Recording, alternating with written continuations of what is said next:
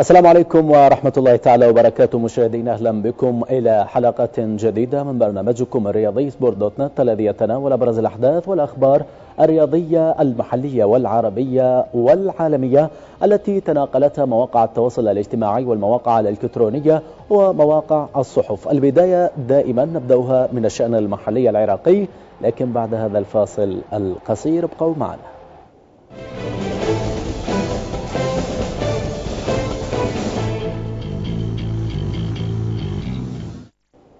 حياكم الله مشاهدينا من جديد. نبدأ هذه الحلقة من أبرز حدث محلي سنتابعه من صحيفة الجورنال لجنة برلمانية تكشف عن مخالفات بنظام اتحاد الكرة.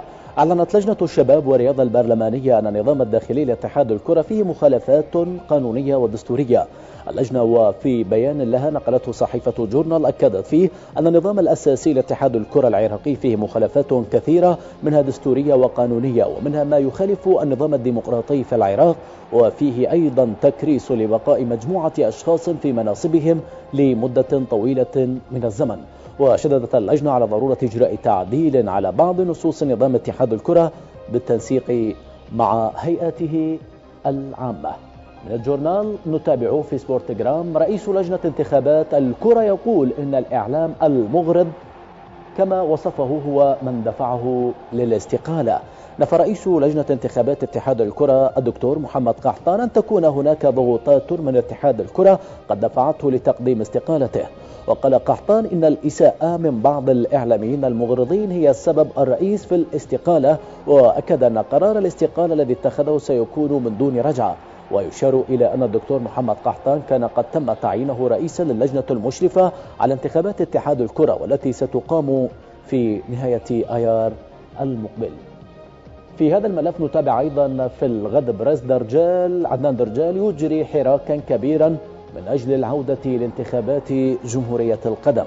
ما زال اللاعب الدولي السابق عدنان درجال يواصل حراكه من أجل الدخول إلى انتخابات اتحاد الكرة العراقي مرة أخرى بعد استبعاده. وقال مصدر للغد بريس أن درجال عقد اجتماعا مهما مع كتلة المبعدين عن انتخابات للتخطيط من أجل عودتهم للترشيح مرة ثانية مبينا أن هناك نية لعقد مؤتمر كبير تكشف من خلاله جميع الأوراق ومن كان السبب وراء استبعاد المرشحين. ونتابع في وثيقة رسمية للزوراء. النادي الأبيض يطالب الاتحاد العراقي برفض الشعارات العنصرية.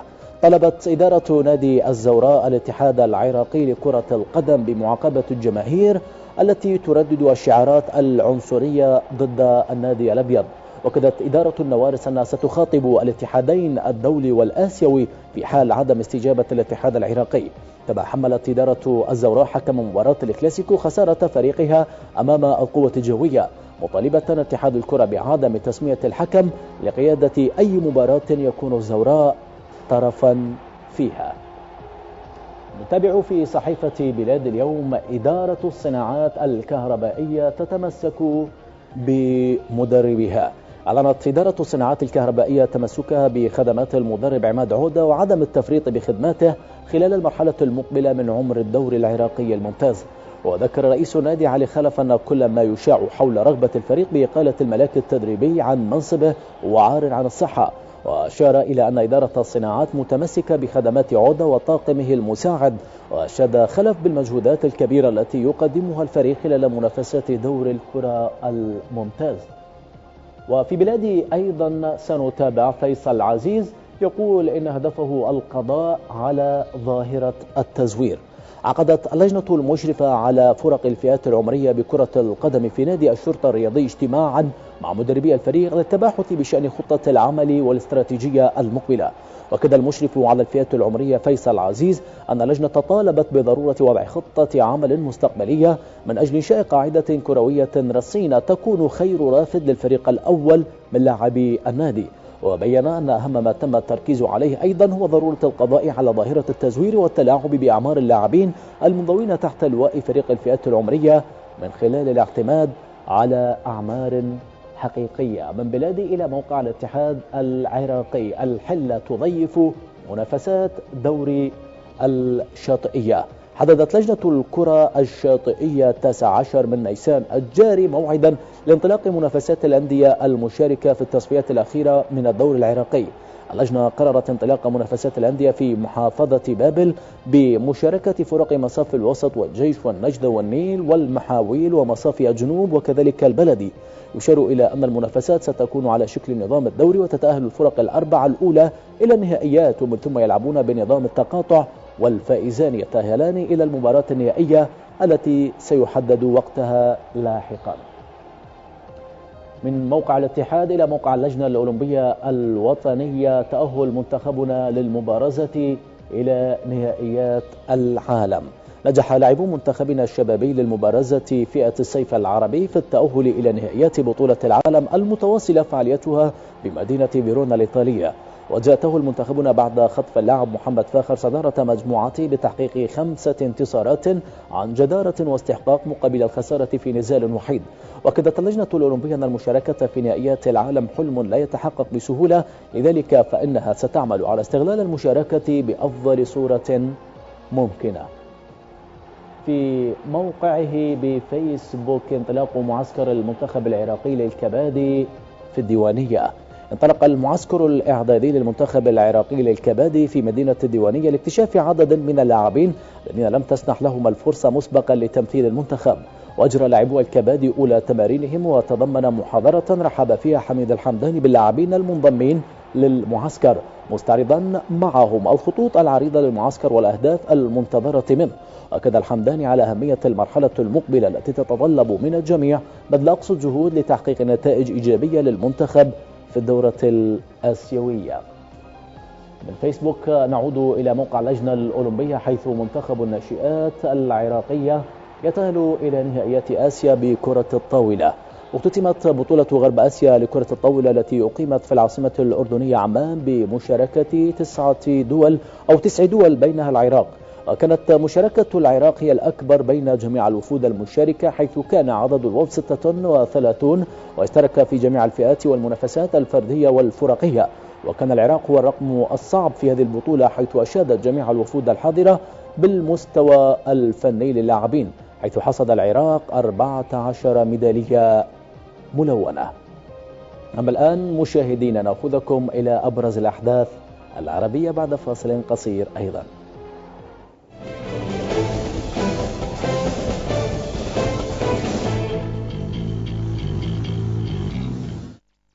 وجدد ترحاب بكم مشاهدينا أهلا بكم إلى الأحداث العربية. نتابع في سبورت 360 ثلاثة أندية يمثلون الإمارات في أبطال العرب. أعلن الاتحاد الإماراتي رسميا أن أندية العين والجزيرة والوصلة سيمثلون البلاد في البطولة العربية للأندية التي تبدأ في أبا المقبل. وقال عبد الله الجنيبي نائب رئيس الاتحاد الإماراتي أنه سيوفر كل عناصر النجاح لهذا التجمع العربي معتبرا أن مشاركة الإمارات في البطولة يأتي في ظل السعي الدائم والمستمر لتجسيد وتعزيز أواصر الصداقة والمحبة بين الشباب العربي في كافة المجالات خاصة المجال الرياضي. عربيا أيضا نتابع في في موقع الاتحاد السعودي على تويتر الاتحاد يجري بعض التغييرات. أجرى الاتحاد السعودي لكرة القدم تعديلا جديدا فيما يتعلق بمشاركة اللاعبين الأجانب مع فرقهم في المنافسات المحلية بداية من الموسم المقبل. ومنح اتحاد الكرة الضوء الأخضر لفرق دور المحترفين بالاستعانة بخدمات سبعة لاعبين محترفين في القائمة الأساسية لكل مباراة شرط أن يتواجد لاعب منهم على الأقل على مقاعد البدلاء. ويذكر أن القانون الحالي يقضي بالاستعانة بستة أجانب فقط مع استبعاد لاعب محترف على الأقل من القائمة الأساسية لكل فريق في المباريات الرسمية. وفي تويتر نتابع أيضا وفي صفحته نايف هزازي يعلن انتقاله إلى فريق روماني. كشف اللاعب السعودي نايف هزازي عن وجهته بعد انفسخ عقده مع التعاون السعودي بسبب سوء مستواه في الفترة الأخيرة. وغرد اللاعب الدولي عبر تويتر قائلا إنه اتفق مع نادي بوتوساني الروماني لتمثيل صفوفه لموسم ونصف. متمنيا أن يقدم ما هو مطلوب منه مع ناديه الجديد.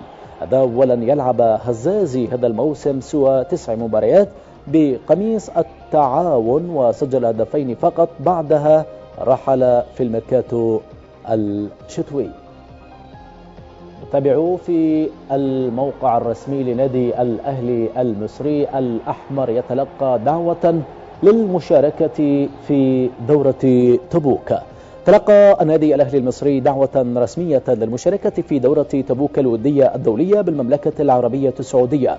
وكد عبد العزيز عبد الشافي المدير الرياضي بالنادي الأهلي أن فريقه تلقى دعوة للمشاركة في الدورة خلال شهر حزيران المقبل بمشاركة أندية سعودية وعدد من الأندية الخارجية. وأكد المدير الرياضي أنه تم تحويل الدعوة للجهاز الفني للفريق لاتخاذ القرار المناسب في ضوء ترتيبات الموسم الجديد. وفي السبورت نتابع رسميا التضامن يهبط إلى دوري الدرجة الأولى الكويتي. هبط فريق التضامن إلى دور الدرجة الأولى الكويتي بشكل رسمي بعد خسارته من الجهراء في منافسات الجولة الثامنة عشرة من دور فيفا لكرة القدم. وتجمد رصيد التضامن عند عشر نقاط قبل ثلاث جولات من النهاية فيما رفع الجهراء رصيده إلى 22 نقطة أنعشت أمله في الابتعاد عن منطقة الخطر المتمثلة في المركز السابع الذي يجبر صاحبه على خوض لقاء أو لقاء فاصل مع ثانية درجة الأولى. وبدورها عبرت إدارة التضامن عن استيائها الشديد بعد الهبوط وأكدت أنها ستعمل على إعادة الفريق مرة أخرى للأضواء. وعربيا نتابع في موقع كورة معاقبة الجيش وأكادير بسبب سلوك الجماهير. وقعت لجنة الانضباط والتأديب مجموعة من العقوبات والغرامات ضد بعض أندية الدوري المغربي. وفرضت اللجنة غرامة مالية على الجيش الملكي وحسنية أكادير في حدود 3000 دولار بسبب استعمال جماهير الناديين للألعاب النارية في المواجهة التي جمعت الفريقين برسم الجولة الثالثة والعشرين من الدوري الاحترافي. كما قضت نفس اللجنة بمعاقبة حارس الدفاع الجديد يحيى الفلالي بالتوقيف مباراتين. وفي موقع فيسبوك وفاة حارس مرمى جزائري أثناء التدريبات. في الجزائر نتابع توفي حارس مرمى الفريق الرديف لاتحاد العاصمة عبد الرحمن بويرمان بعد تعرضه لأزمة قلبية خلال التدريبات على ملعب عمر حمادي. وقال نادي اتحاد العاصمة عبر حسابه الرسمي على موقع فيسبوك أن الحارس الشاب تعرض لنوبة قلبية أثناء التدريبات. وعبرت أسرة الفريق عن صدمتها وحزنها العميق لهذا المصاب الجلل ووجهت تعازيها لعائلة الفقيد. ونتابع في الوفد أيضا مصر تبث مباريات مونديال روسيا. نجح هاني أبو ريدة رئيس الاتحاد المصري لكرة القدم في الحصول على حقوق البث الأرضي لمباريات مصر في مونديال روسيا. وذكرت العامة للاستعلامات المصرية أن الجهود الكبيرة والمباحثات المكثفة التي بذلت أفضت إلى اتفاق مع بعض الجهات لبث مباريات الفراعنة في بطولة كأس العالم المقبلة على التلفزيون المصري. يذكر أن منتخب مصر سيشارك في بطولة مونديال روسيا بعد غياب دام 28 عاما. وضعت قرعة البطولة منتخب الفراعنة في المجموعة الأولى إلى جانب منتخب روسيا المضيف وأورجواي والسعودية. من الوفد إلى آرتي سبورت منتخب عربي يشارك في كوبا أمريكا 2019 ينتظر أن يشارك في بطولة كوبا أمريكا لكرة القدم المزمع إقامتها في البرازيل العام المقبل 16 منتخبا بينهم المنتخب القطري. البطولة ستشهد مشاركة المنتخبات العشرة التي تنتمي إلى اتحاد قارة أمريكا الجنوبية. بالإضافة إلى ستة منتخبات ستتم دعوتها للبطولة وهي قطر التي تستضيف مونديال 2022 والصين واليابان والولايات المتحدة الأمريكية والمكسيك ومنتخب آخر ستحدد هويته في وقت لاحق. وتعتبر تشيلي هي حاملة لقب النسختين الأخيرتين في البطولة اللاتينية عربيا أيضا وفي سكاي نيوز تونس تمنع رياضيين إسرائيليين من المشاركة بمسابقة تايكواندو. منعت محكمة في تونس العاصمة أربعة رياضيين إسرائيليين من المنافسة في بطولة العالم للتايكواندو للناشئين. وقال مسؤول قضائي أن المحكمة أصدرت قرارها بعدما رفعت مجموعة تونسية تعرف باسم الهيئة الوطنية لدعم المقاومة العربية ومناهضة التطبيع والصهيونية. رفعت دعوى ضد رئيس اتحاد التايكوندو التونسي أحمد جعلول. وأضاف المتحدث باسم الادعاء سفيان سليتي أن قرار المحكمة ينص على أن جعلول لا يمكنه دعوة واستضافة الرياضيين الإسرائيليين الأربعة الموضوعين في قائمة المتسابقين. أما الآن مشاهدينا ننتقل بكم إلى الأحداث العالمية.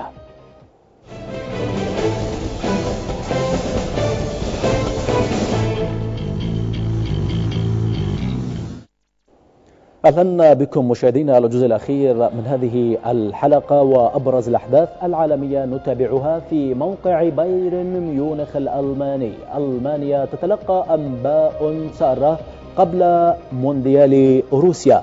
تلقى المنتخب الألماني لكرة القدم أنباء سارة قبل شهرين من انطلاق مونديال روسيا بعدما عاد حارس المانشافت مانويل نوير إلى التدريبات الجماعية مع فريق بايرن ميونخ. ونشر النادي البافاري على صفحته الرسمية في تويتر صورا خلال الحصة التدريبية الأولى لنوير الذي غاب عن الملاعب لمدة ستة أشهر بسبب الإصابة. ويتوقع أن يكون نوير ضمن قائمة منتخب ألمانيا المشاركة في مونديال روسيا الصيف المقبل إذ تعافى بالكامل واستعاد مكانه الأساسي في حراسة مرمى النادي البافاري. في حدث محلي آخر نتابع في صحيفة ميرور الإصابة تهدد مشاركة لاعب ليفربول في المونديال. أكدت صحيفة ميرور البريطانية أن متوسط ميدان نادي ليفربول الألماني إمري جان سيغيب عن الملاعب حتى نهاية الموسم الحالي. يواجه أيضا خطر الغياب عن مونديال روسيا. وقالت الصحيفة إن إمري الذي غاب عن مباراة مانشستر سيتي بسبب إصابة في الظهر سيغيب عن الملاعب حتى نهاية الموسم. وبات الدولي الألماني مهددا بالغياب أيضا عن بطولة كأس العالم المزمع إقامتها في روسيا. وأوقعت قرعة المونديال ألمانيا حاملة اللقب في المجموعة السادسة إلى جانب منتخبات المكسيك والسويد وكوريا الجنوبية. في موقعه الرسمي يويفا يفتح تحقيقا تأديبيا بعد حادثة حافلة السيتي. فتح الاتحاد الأوروبي لكرة القدم تحقيقا تأديبيا في الاعتداء الذي تعرضت له حافلة فريق مانشستر سيتي الإنجليزي قبيل مباراة ضد مضيف ومواطن ليفربول في ذهاب ربع نهائي دور الأبطال. وتعرضت الحافلة التي تقل لاعبي سيتيزنز إلى الرمي بمقذوفات مثل الزجاجات والألعاب النارية. وتم الاتحاد القاري جماهير ليفربول بارتكاب أعمال تخريب قبل المواجهة الأوروبية وأشار إلى أن لجنة الرقابة والإخلاقيات والتأديب التابعة للاتحاد ستتولى النظر في هذه القضية في الحادي وثلاثين من آيار المقبل. نتابع أيضا في صحيفة لكيب الفرنسية باريس يمثل أمام لجنة اليويفا المالية. قالت وسائل الإعلام الفرنسية إن ممثل أو ممثل عن باريس سان جيرمان سيمثل أمام هيئة الرقابة المالية التابعة للاتحاد الأوروبي لكرة القدم في العشرين من نيسان الحالي في إطار التحقيق المفتوح بشأن خرق محتمل لقواعد اللعبة المالية النظيف. وذكرت صحيفة لكيب أن على باريس إقناع مسؤولي الهيئة المالية للاتحاد الأوروبي بصحة أرقام النادي الفرنسي وذلك بعد أن استثمر أكثر من 400 مليون يورو في التعاقدات التي جرت خلال الصيف الماضي مع نيمار وكيليان مبابي. وبالإضافة إلى ذلك سيكون على باريس تبرير العديد من عقود الرعاية القائمة حاليا ومعظمها يأتي من دولة قطر. تابعوا في موقعه الرسمي أيضا ميلان يمدد عقد مدربه جاتوزو. أعلن نادي أي سي ميلان الإيطالي تمديد عقد مدربه جاتوزو لمدة ثلاثة مواسم إضافية بعدما نجح لاعب الوسط السابق في إحداث انتفاضة في أداء روسونيري. وذكر نادي ميلان في بيان رسمي أن الإدارة قررت تمديد عقد جاتوزو مكافأة لعمله الجاد بأفضل طريقة ممكنة قبل نهاية الموسم. من جهته قال جاتوزو أتمنى في إعادة ميلان إلى الطريق الصحيح حيث اعتاد أن يكون. من إيطاليا إلى إسبانيا وفي صحيفة آس نتابع جارث بيل يرفض الرحيل عن مدريد. ذكرت صحيفة آس الإسبانية أن ريال مدريد قد يواجه أزمة بخصوص مستقبل النجم الويلزي جارث بيل الذي بات رحيله عن الفريق الملكي في الميركاتو الصيفي أمرا واردا جدا. وأوضحت الصحيفة أن جارث بيل غاضب جدا بسبب تجاهله من قبل المدرب زين الدين زيدان لكن رغم ذلك يرفض فكرة الرحيل عن النادي الأبيض في الصيف. وأضافت الصحيفة أن ريال مدريد اتخذ قراره بالتخلص من بيل في الصيف وستكون إدارة النادي مضطرة لوضعه في السوق الأمر الذي سيجعل سعره ينخفض بشكل كبير. نتابع أيضا في صحيفة سبورت الإسبانية تشيلسي يحصن هازارد من عيون ريال مدريد براتب فلكي. ينوي تشيلسي الإنجليزي رفع راتب نجمه إيدين هازارد إلى لإقناعه بالبقاء في لندن وعدم الرحيل إلى ريال مدريد الإسباني. وبحسب صحيفة سبورت الإسبانية فإن النجم البلجيكي أحد أهم أهداف النادي الملكي خلال الصيف المقبل إلى أن تشيلسي يعتزم رفع راتبه الأسبوعي إلى 350 ألف جنيه استرليني. وفي حال فشلت مساعي النادي للإبقاء على لاعبه فإن تشيلسي سيطلب ما لا يقل عن 100 مليون يورو للتخلي عن هازارد بحسب صحيفة سبورت الإسبانية. نتابع تغريدة على تويتر تؤكد قرب انتقال بوفون إلى الدوري السعودي. تستعد إدارة النصر السعودي لدخول موسم الانتقالات الصيفية المقبلة بكل قوة لتدعيم صفوف الفريق لإعادة العالم إلى منصات التتويج بعد غياب في الفترة الأخيرة. وتأمل الإدارة النصروية في استغلال قرار السماح بالتعاقد مع حارس أجنبي من إعادة هيكلة حراسة المرمى بحارس كبير ذو سجل مليء بالأرقام والإنجازات. وفي هذا الصدد نشر صحفي سعودي يدعى محمد العاطفي تغريدة يؤكد فيها اقتراب إدارة النصر من التعاقد مع العملاق بوفون الذي ينتهي عقده مع يوفنتوس الإيطالي في الصيف المقبل. نتابع في صحيفة البايس فريق فنزويلي يطرد لاعبين بتهمة تعذيب قطة طرد فريق زوليا الفنزويلي لكرة القدم اللاعبين ديفيد باريو وإدوين كيرو بعد نشر أحدهما الأسبوع الماضي صورا تظهر فيها سوء معاملة لقطة وجاء في بيان الفريق أنه تم طرد اللاعبين لانتهاكهما قواعد النادي والتورط في تصرفات لا تتماشى مع القيم الأساسية لهذه المؤسسة. وبحسب وسائل إعلام فنزويلية فإن القط لا يزال على قيد الحياة بعد أن تعرض لمعاملة عنيفة جدا من اللاعبين. وفي صحيفة ديلي ميل نتابع وفاة اللاعب السابق للمنتخب الإنجليزي رأي ويليكنز. توفي قائد منتخب إنجلترا السابق رأي ويليكنز في إحدى مستشفيات لندن عقب تعرضه لأزمة قلبية. وعانى ويليكنز من توقف في القلب وأدخل إلى مستشفى سان جورج حيث وضعه الأطباء في غيبوبة صناعية. وقالت رابطة اللاعبين المحترفين الإنجليزية لكرة القدم انها تلقت ببالغ الحزن والأسى نبأ وفاة رأي ويليكنز الذي شارك في 84 مباراة دولية مع منتخب إنجلترا. أما الآن مشاهدينا فوصلنا إلى ختام هذه الحلقة. انتظرونا في حلقة جديدة الأسبوع المقبل. في أمان الله وحفظه.